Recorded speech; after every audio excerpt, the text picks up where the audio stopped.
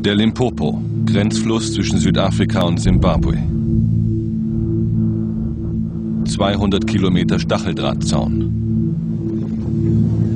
Hier hatten wir in den vergangenen Monaten und Jahren immer wieder heimlich gefilmt, hatten tausende Simbabwer beim illegalen Grenzübertritt beobachtet.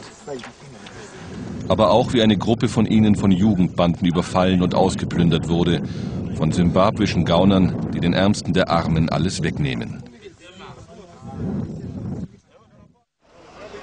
Der Grenzübergang heute. Diesmal haben wir eine Drehgenehmigung. Die Grenze sieht aus wie ein Flüchtlingslager. Es wird geschätzt, dass ein Drittel der Bevölkerung Simbabwes das Land verlassen hat. Die meisten sind nach Süden gegangen, in ihr gelobtes Land Südafrika.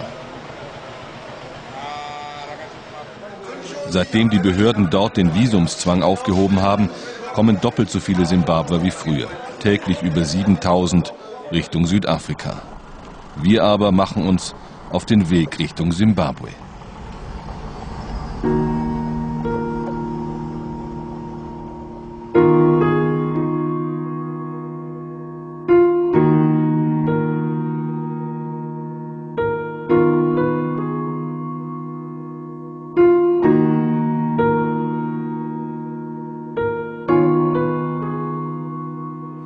Hatten wir im März heimlich diese Aufnahmen gemacht. Erschöpfte Häftlinge, manche ausgemergelt wie im KZ. Angeblich sind die Zustände mittlerweile etwas besser. Wir hatten auch bei den Schreinern der Grenzstadt Bait Bridge gefilmt, die damals nur Särge machten. Heute fertigen sie wieder Schränke. Und wir hatten Sarah Sibanda besucht, die bereit gewesen war, vor die Kamera zu gehen, obwohl wir uns illegal im Lande befanden. Ihre Mutter war damals schwer krank gewesen Sarah dachte, sie werde sterben. Jetzt besuchen wir Sarah wieder. Der Familie geht es nur unmerklich besser als ein paar Monate zuvor.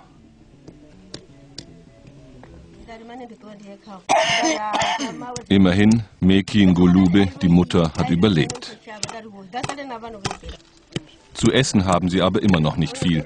Am Tag vor unserem Besuch hatten die Kinder Nüsse gefunden. Seit Jahren geht keines der zwölf Kinder zur Schule. Wir überleben nur, weil wir sammeln, was wir im Busch finden können. Zum Beispiel die Früchte des Affenbrotbaumes. Wir haben unsere gesamte Ernte verloren und haben jetzt gar nichts mehr. Unser Leben ist hart, seitdem meine Tochter nicht mehr regelmäßig nach Südafrika geht. Von dort hat sie immer etwas zurückgebracht. Sie laufen auf dem, was einmal ihr ertragreichstes Feld war. Simbabwes Landwirtschaft zerstört.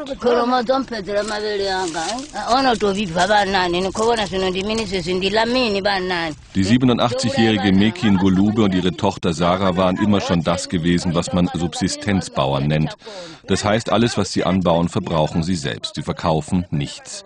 Dass Simbabwe seit Februar eine neue Regierung hat, das wissen sie. Wir hatten gedacht, dass die neue Regierung uns helfen würde, aber bis jetzt ist keine Hilfe gekommen. Meine Kinder brauchen wieder eine funktionierende Schule. So kann eine Ruine auch aussehen. So sehen weite Teile der simbabwischen Landwirtschaft aus. Ein Land, das früher einmal große Mengen Nahrungsmittel exportierte.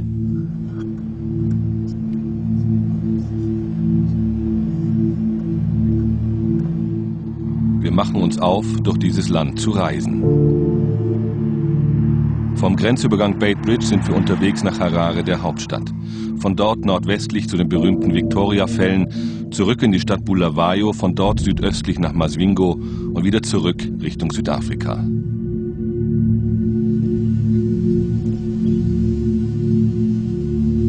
Vier Stunden Autofahrt nördlich der Grenze liegen die Ruinen von Greater Zimbabwe. Diese Ruinen haben nichts mit der aktuellen Krise des Landes Simbabwe zu tun. Sie sind fast 1000 Jahre alt. Damals hatte ein hier ansässiges Volk Handel mit China und Indien betrieben. Städte mit bis zu 20.000 Einwohnern entstanden, ein sagenumwobenes Königreich. Irgendwann einmal war das Volk aber verschwunden.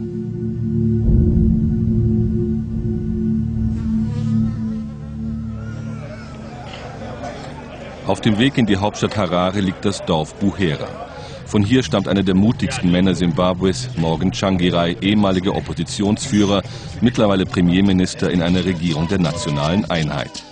Trauerfeier für seine Frau Susan und seinen Enkel Jean.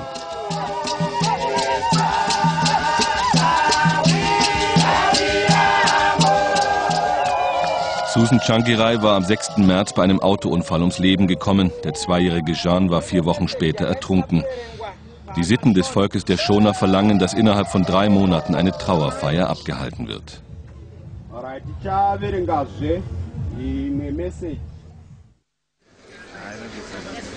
Am 11. Februar hatte Präsident Robert Mugabe seinen Erzrivalen Morgan Changirai widerwillig vereidigt. Jahrelang hatte er ihn erbittert verfolgt. Außenpolitischer Druck ließ beide in ihrem Kampf nachgeben.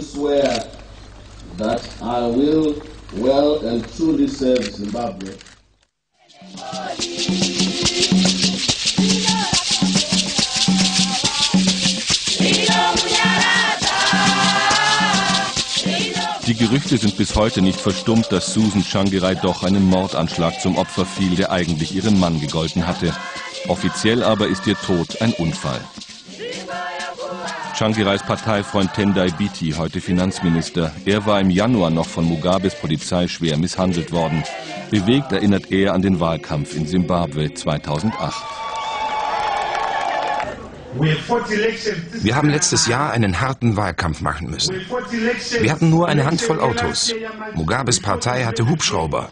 Überall waren sie. Und wir haben sie trotzdem geschlagen.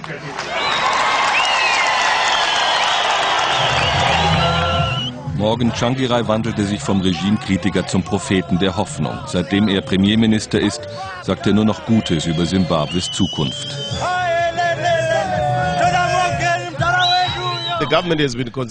Die Regierung sitzt fest im Sattel. Unter unglaublich schlechten Bedingungen haben wir es geschafft, Schulen wieder zu eröffnen. Wir haben die Inflation von 500 Milliarden Prozent auf nur 3 Prozent gesenkt. Es gibt wieder Waren in den Geschäften. Zugegeben, es herrscht Geldmangel. Aber dieses Problem werden wir in den nächsten 100 Tagen lösen.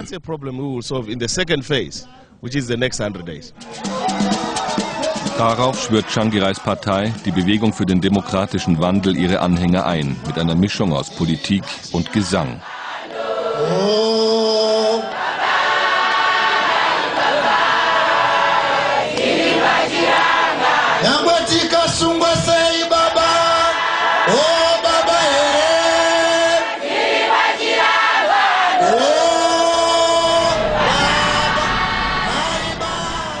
Weiter auf dem Weg nach Harare, weiter zu einem besonders düsteren Kapitel der simbabwischen Geschichte und der simbabwischen Gegenwart. Die Farm von Ben Freeth, die größte Mango-Farm Simbabwes. Ben Freeth gehört zu den weißen Simbabwern, die Präsident Mugabe seit neun Jahren mit aller Gewalt von den Farmen vertreiben will. Er bittet uns nur innerhalb seines Hauses zu filmen. Ein paar hundert Meter vor der Farm stehen bewaffnete Männer, die sein Farmgelände besetzt halten. Uns sollen sie nicht sehen, sonst drohe ihm Gewalt. Im April hatten sie selber gefilmt, wie die Männer plötzlich vor dem Gatter auftauchten und ihren Vorarbeiter bedrohten. So hatten fast alle Farmbesetzungen in Simbabwe angefangen. Der Anführer der Farmbesetzer hielt sich im Hintergrund.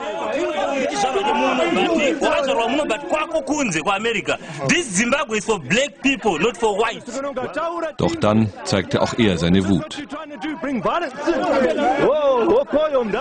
Die Männer kamen ans Haustor, drohten damit, sie wollten hereinkommen. Die Polizei tauchte gar nicht auf. Ben Freeth war auf seiner Farm eingeschlossen. Schließlich durchpflügten die Besetzer auch noch die Einfahrt. Autos sollten das Gelände nicht verlassen können. Immer wieder kamen die Bewaffneten, hier mit einem Mugabe-Zitat. Das Land ist unser, wir sind souverän. Seitdem ist die Farm besetzt. Sie können ihr Haus verlassen, können einkaufen gehen, aber die Farm können sie nicht bewirtschaften. Bens Frau Laura erzählt, es gebe sogar einen Gerichtsbeschluss, der die Farmbesetzer zum Abziehen zwingt. Aber die halten sich nicht daran. Das ist unser Haus, nicht das von denen. Ich weigere mich, es ihnen zu geben, nur weil sie es haben.